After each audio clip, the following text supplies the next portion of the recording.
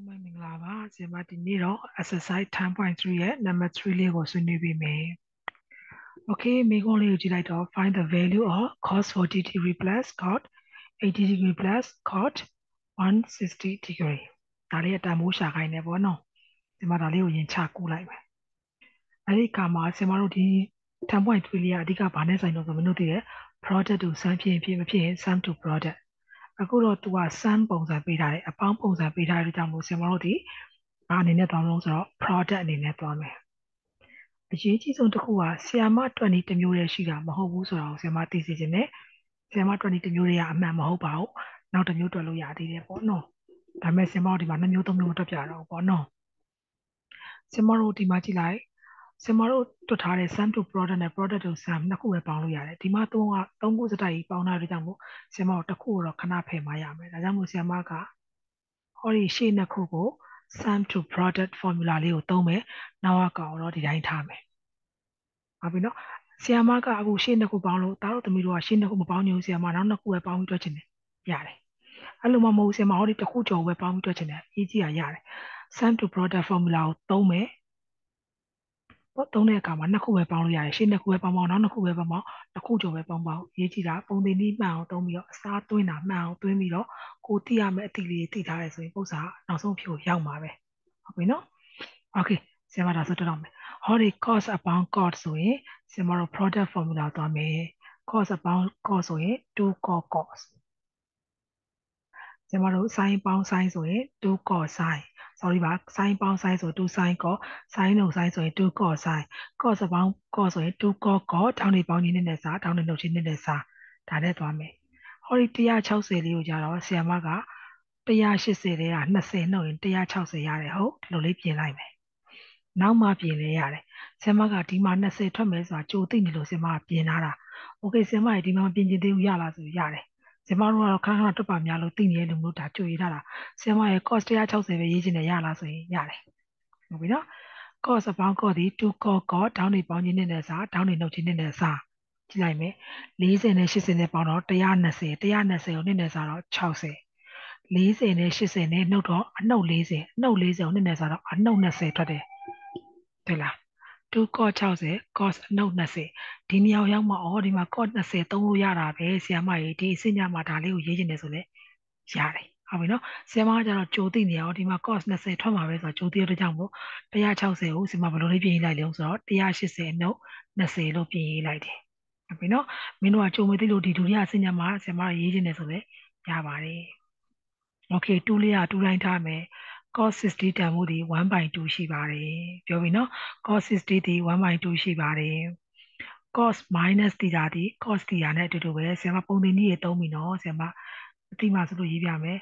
cos minus တီတာဒီဘာနဲ့အတူတူပဲလို့ဆိုတော့ဒီမှာတော့ cos minus တီတာဒီလက္ခဏာပြောင်းသွားတယ် cos တီတာနဲ့အတူတူပဲဘာကြောင့်တူလဲဆိုတော့မင်းတို့သိမယ်လို့ဆရာမယူဆတယ် cos minus တီတာဒီ minus တီတာဆိုဒီဒီနေရာလေးမှာရှိတာ all sin tan cos ဒီနေရာမှာဘာလို့တစ်ခုပဲ plus တော့ဆိုတော့ cos က plus ဒါကြောင့်မို့ cos minus သီတာတွေ cos သီတာနဲ့တူတယ်သူပေါင်းဖြစ်သွားလိမ့်မယ်ဟောဒီမှာမင်းတို့မမေးဘူးမယ်စမပြောရအောင်မယ်မချင်း cos 180 cos 180အနှုတ်အပေါင်းနှုတ်တရားတွေမင်းတို့သိပါနော် cos ဆိုရင်အချုံပြောင်း180ဆိုအချုံပြောင်းဆိုတော့ cos ဆိုတော့ cos 20ဆိုတော့20ထွက်လာပြီဆီယမ်မှာဘာကြောင့်အပေါင်းကနေနှုတ်ဖြစ်တော့ ကော180နှုတ်တီတာဒီဘယ် quadrant မှာရှိတော့မင်းတို့ဒီပါ180က20နှုတ်တယ်ဆိုတော့160ဆိုတော့ဒီ quadrant မှာရှိတယ်ဒီ quadrant မှာဘယ်လိုတစ်ခုပဲ plus တုံးဆိုတော့ sin တစ်ခုပဲ plus ကျန်တဲ့ကောင်တွေအကုန်လုံးအနှုတ်ဖြစ်မှာဒါကြောင့်မလို့ဆီယာမကအရင်ပြင်ရေးပြမယ်နော်2 cos 16နေရာမှာ 1/2 cos minus 20ဒီဘယ်လောက်ဖြစ်အောင်ဆိုတော့ cos 20ဖြစ်သွားတယ် cos minus ဒီဟာဒီ cos ဒီဟာနဲ့တူတယ်ဆိုတဲ့သဘောတရားအရ cos minus 20ဒီ cos 20နဲ့တူတယ် ဒါလေးက180ဆိုအချိုးပြောင်းဒါကြောင့်မို့ cos က cos ပဲ cos 20ဖြစ်သွားတယ်180 plus or minus သီတာဒီအချိုးပြောင်းဖို့ cos သီတာရတယ်အပေါင်းကနေဘာလို့အနှုတ်ဖြစ်လဲဆိုရင် quadrant ကြောင့်သူဒီ160ဆိုတာ second quadrant မှာရှိတယ် second quadrant မှာ sin ထိုးပဲအပေါင်းကျန်တဲ့အချိုးတွေနှုတ်မလို့ဆရာမဒီနားမှာအနှုတ်ထည့်လိုက်တယ်ရမယ်လို့ထင်တယ်နော်โอเคဒီသဘောတရားတွေအကုန်လုံးသိရင်ရပါပြီဆရာမတို့ tree ကိုခံရရကဲဒါဆိုဆရာမတို့ခြေစရာရှိတာလေးရှောက်ကြည့်ရရအောင် ခြေစရာလေးတွေဗာလေးတွေ့အောင်ဆရာမခြေလိုက်တော့ဟောဒီနှစ်လေးနဲ့ဟောဒီနှစ်လေးနဲ့ကခြေတော့ကြည့်တော့ရှေ့မှာ cos 20 degree နောက်မှာ cos 20 minus cos 20 degree နှုတ်လိုက်တော့မရတော့0ရတာပေါ့ဒီဖြည့်ရဲ့တန်ဖိုးဒီ0ဖြစ်ပါတယ်ပြီးသွားပါပြီဟုတ်ပြီနော်ဒီမှာတော့ဆီယမကရှေ့နှစ်ခုလေးကိုဆီယမက sum to product formula လေးသုံးပြီးတော့နောက်ကကောင်တော့ negative angle formula လေးသုံးပြီးတော့ဆီယမနှစ်ခုပေါ့နော်အဓိကသုံးချတာရှေ့နှစ်ခုကို sum to product formula သုံးပါတယ်နောက်ကကောင်ကိုကျတော့ negative angle formula ကိုသုံးပြီးတော့ဒီပုံစံလေးကိုဖြည့်ရှင်းသွားပါတယ်တွန်နီဒီတနည်းရရှိတာမဟုတ်ပါဘူးတခြားနည်းရှင်းနှစ်ခုမဟုတ်ဘဲနောက်နှစ်ခုရှင်းလဲရပါတယ်ဒါလေးလည်းသိရမယ်တောင်းတော့အရင်ကြည့်ရမှာပေါ့နော်အဲ့ခါကျရင်တော့ Okay, number 4 prove that sin square 9h minus sin square 3h equal to sin 12h sin 6h ဖတ်စာအုပ်ထဲမှာဒီနားလေးမှာ cos ဖြစ်နေလိမ့်မယ်ဆင်မတို့တွက်ကြည့်တယ်ပေါ့နော် cos နဲ့ဘယ်လုံးမှတွက်လို့မရဘူးညီစရာအကြောင်းမရှိဘူးเนาะဒါကြောင့်မို့ဆင်မတို့ sin လို့ပြင်လိုက်ပါတယ်ဖတ်စာထဲမှာ cos ဖြစ်နေလိမ့်မယ်ဒါဆင်မပြင်ထားတဲ့နေရာလေးမလို့ဆင်မ sin လို့ပြင်ထားပါတယ်အဲ့ဒီကမှာအရေးကြီးတာတစ်ခုရှိသေးတယ်ဆင်မတို့ prove that လို့ပြောရင်ဆင်မတို့တောင်းဝင်ပြီးပေးထားတဲ့ equation ကိုညီချောင်းသက်သေပြနိုင်ရပြီဘယ်ဘက်ကနေစတွက်တဲ့ညာဘက်ကနေစတွက်တဲ့တွ က်ချင်တဲ့ဘက်ကဆင်မတို့တွက်ခွင့်ရှိတယ်ကိုအတွက်ဘယ်ရလွယ်မယ်ဆိုဘယ်ရစတွက်ကိုအတွက်ညာလွယ်မယ်ဆိုရင်ညာစတွက်ဒါဒီဘယ်ဘက်ကနေမှစတွက်ရမယ်ဆိုတဲ့ပုံသေးကားချက်သတ်မှတ်ထားချက်မရှိပါဘူးအဲ့ဒီခါမှာဘောနော်ခုနကလို့အော်ဆရာမကြီးဘယ်ရတွက်ပြီးပါအောင်ဆရာမကြီးညာတွက်ပြီးပါအဲ့ဒါအရေးမကြီးပါတော့အရေးကြီးတာ product ဒီကိုအတွက်ပိုလွယ်မယ်လို့ထင်တဲ့နေရာရှင်းလို့ပိုလွယ်မယ်ဆိုတဲ့နေရာစတွက်လို့ရပါတယ်ဘယ်ရတွက်တွက်ညာတွက်ကြိုက်တဲ့ဘက်ကတွက်ပါ ဟုတ်နော်ဆရာမအမြဲတမ်းဘယ်ကနေတွက်ပြီးနေကြမို့ဒီတစ်ပုတ်မှာတော့ညာကနေတွက်ပြီးရမယ်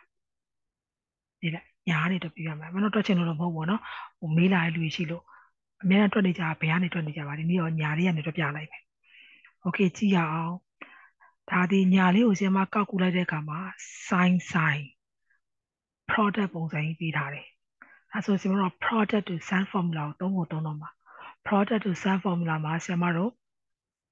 ပြပြအောင်မနော် sin cos ဆိုရင်ဆရာမတို့ရှိမှမြင်နေ2လေးပါတယ်နော်2 sin cos ဆိုရင်ဆရာမတို့ sin အပေါင်း2 cos sin ဆိုရင် sin အနှုတ်2 cos cos ဆိုရင် cos အပေါင်း minus 2 sin sin ဆိုရင် cos အနှုတ်ငါတို့ရဲ့ပုံသင်နည်းက minus 2 sin sin ဖြစ်မှာ sin sin ဆိုရင်အများကြီးရှိမှာအနှုတ်ပါမှာ minus 2 sin sin ကြမှာ cos အနှုတ်ပုံသင်နည်းသုံးလို့ရမှာဒါကြောင့်မို့ဆိုတော့ဆင်မောင်းအနေနဲ့ minus လဲလို့ရတယ်2လဲလို့ရတယ်ဒါကြောင့်မို့ဆင်မဒီလိုလေးလုပ်ပါတယ် ဒါဆင်မလုပ်နေကြအကြောင်းတွေမင်းတို့သိပါတယ် minus လဲလို့ရတယ်2လဲလို့ရတယ်ဒါကြောင့်မို့ minus 2ပိုင်းဝေကိုလည်းမြောက်တယ်ပိုင်းချီကိုလည်းမြောက်ပါတယ်ဒါဆိုရင်ငါတို့ရဲ့ပုံသင်နည်းလေးဒီဘောင်ဝင်သွားပြီငါတို့အမတန်လိုချင်နေတဲ့ minus 2 sin sin ဖြစ်သွားပြီ minus 2 sin sin ဆိုရင်အောက်က minus 2ကိုဒီတိုင်းထားခဲ့ပိုင်းဝင်ပိုင်းချီရ minus 2ကိုဒီတိုင်းထားခဲ့ minus 2 sin sin ဒီ cos အနှုတ်ပုံစံမှာ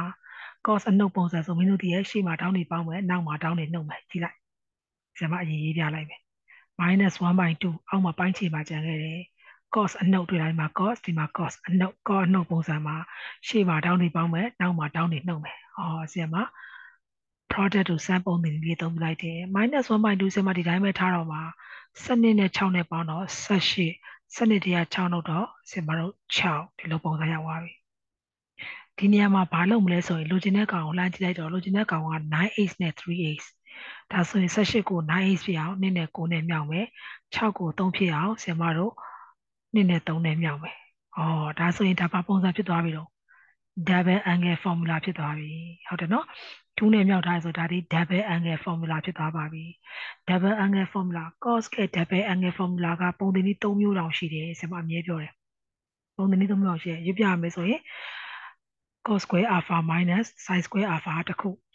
1 minus sorry 2 cos square alpha minus 1တစ်ခု1 minus 2 sin square alpha ဆိုတဲ့ကောင်ကတစ်ခုသုံးခုတောင်ရှိတယ်ဘယ်သူ့ကိုသုံးမလဲဆိုတော့လိုချင်တဲ့ကောင်ကိုလှမ်းကြည့်လိုက်တော့ sin တွေပဲပါတယ်။ဒါကြောင့်မလို့ပုံသင်နည်းသုံးခုတွေကမှာ sin ပါတဲ့ပုံသင်နည်းပဲသုံးမယ်။ cos 2 9h ကိုဆရာမက1 minus 2 sin square 9h လို့သုံးမယ်။ဟောဒီ cos 2 into 3h ကို1 minus sin square 3h လို့သုံးမယ်။ဒီလိုက် minus 1 minus ဒီတိုင်းပဲသူ့ကိုသွင်းလိုက်တော့1 minus 2 sin square 9h သူ့ကိုသွင်းလိုက်တော့1 minus 2 sin square 3h ရှိကမှာသူဘာကြောင့် plus ဖြစ်တော့ဟောဒီရှေ့မှာလက္ခဏာအနှုတ်ရှိလို့ဆင်မလက္ခဏာတွေတန်းစီပြောင်းပေးထားပါတယ်ဟုတ်ပြီနော်ဒါဒီ1 minus 2 sin square 3h ကိုဆင်မက1ကို minus 1ပြင်လိုက်တယ် minus 2ကနေ plus 2ဆိုရင်ဆင်မပြောင်းလိုက်တယ်ဟောဒီမှာ plus 1နဲ့ minus 1ကြီးကကြေးသွားအောင်ကြေးသွားတော့ဘယ်သူကြံခဲ့တော့ကြံခဲ့တဲ့ကောင်လေးကိုရေးလိုက်တယ် ရှေ့မှာ minus 2 sin square 2 9x နောက်မှာ plus 2 sin square 3x ရှေ့က minus 1/2 နဲ့ဝင်မြောက်ပြီးကွာနှစ်ကောင်စလုံး minus နဲ့ minus နဲ့မြောက်တော့ plus 2နဲ့ 2နဲ့ဆိုတော့ g minus နဲ့ plus နဲ့ဆိုတော့ minus 2နဲ့2နဲ့ g ဩဒီမှာသူလိုချင်တဲ့ဘယ်ဘက်ချမ်းလေးရောက်သွားပါပြီအဲဆို LHS ပေးထားတဲ့ equation ကိုတက်တည်ပြပြီးသွားပြီဆရာမဒီနားလေးမှာမေကုန်းလေးပြောင်းဖို့ကြံခဲ့လို့ပါဒါလေးက sign ဖြစ်ကမှာနော် မေကုန်းလေးကိုဆရာမပြောင်းတာတယ်ကဲဒါဆိုရင်ဒီပု္ပ္ပစာလေးမှာတော့ဆရာမဘယ်ဘက်ကနေပြထားတော့ဆိုတော့ညာဘက်ချမ်း RHS ကနေပြီးတော့ဘယ်ဘက်ချမ်းလေးကိုပြန်ပြီးရအောင်ပြထားတယ်ဆရာမကြီးညာဘက်ချမ်းနဲ့ပြချင်ဘယ်ဘက်ချမ်းပြချင်ရလားဆိုတော့လေရတယ်ဟုတ်ပြီနော်ပုဒ်တဲ့ရှိုးတဲ့ဒီမင်းတို့ရဲ့ဆုံးဖြတ်ချက်နဲ့ပဲဆိုင်နေကြိုက်တဲ့ဘက်ကနေပြချင်တယ်လို့ပါဗျာအရေးကြီးတာညီချောင်းပြဖို့အရေးကြီးတယ် โอเคဒါဆိုရင်ဆီယမကဗာလေးပြောရမလို့ဆိုတော့ဒီပုံစံလေးမှာဆီယမအဓိကသုံးသွားတာနှစ်ခုပဲရှိပါတယ်ဆီယမတို့ product to sum formula ရဲ့ double angle formula ရဲ့နှစ်ခုပဲသုံးသွားပါတယ်ဒါပြီနော်ဒီမှာတော့ product to sum လေးသုံးဖို့တော့ကိုဆီယမ -2 ပိုင်း -2 လေးနဲ့မြောက်ခဲ့ရတယ်ပေါ့နော်ဆင်မတော့ပုံစံတစ်ပုံမှာအဓိကပဲနှစ်ခုသုံးသွားလဲပေါ့နော်ဆင်မအဓိကပြောပါတယ်နံပါတ်၄မှာဆိုရင်ဆင်မ product to sum formula နဲ့ double angle formula နှစ်ခုပဲဆင်မအဓိကသုံးသွားပါတယ် ဒါဆိုရင်နံပါတ်3နဲ့4နဲ့နှစ်ပုတ်စလုံးကိုရမယ်လို့တော့ဆရာမကယူဆလိုက်ပါပြီအားလုံးကိုကျေးဇူးတင်ပါတယ်